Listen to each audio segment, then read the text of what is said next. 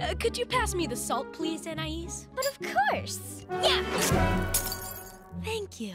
My pleasure. May I have the gravy, please, Darwin? Gladly.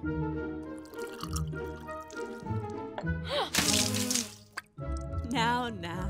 Maybe a little dessert will sweeten you. I will not tolerate this kind of behavior in my house. I barely got to lick the icing. Wait a minute. You licked the cake? Well, duh. How else can you tell they're ripe when you buy them at the store? Anyway, what's with all the tension?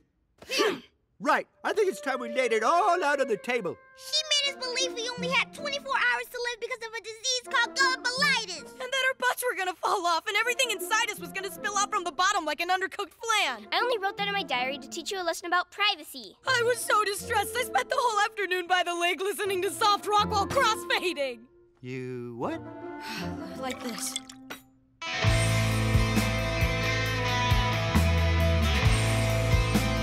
Well, maybe you shouldn't have bedazzled the toilet seat.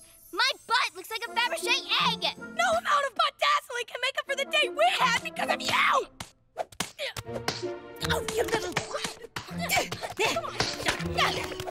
Stop fighting!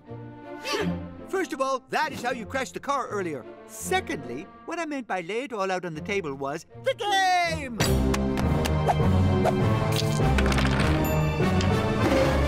For Saturday night is family time. And since it's my turn to choose, we're raiding Dungeons and Fighting Dragons! Sorry, Gumbo. You rolled a two in stealth. Get back here. Hmm. How is this gonna help? You are all travelers from distant lands seeking refuge from a great storm. Testosterone the barbarian, Norovirus the wizard, Trumpet the elf bard, and finally Mario Kebab the dwarf warrior, because I ran out of name ideas. You stumble across a tavern called the Merle Inn and find yourself in the midst of a brawl. Not against each other. All right, against each other, I guess. But you're interrupted by a mysterious voice. Do you want to be rich? How rich we talking? Enough to buy my kids new battle armor? More. Enough to get health care against loss of limbs and dental for my tooth? Even more. Enough for us to pay to get into a good pillaging college? The riches I speak of are to be found in the Black Crystal Dungeon. And they will give you a lifetime of joy. But the road to the dungeon and the treasure is treacherous, but not as treacherous as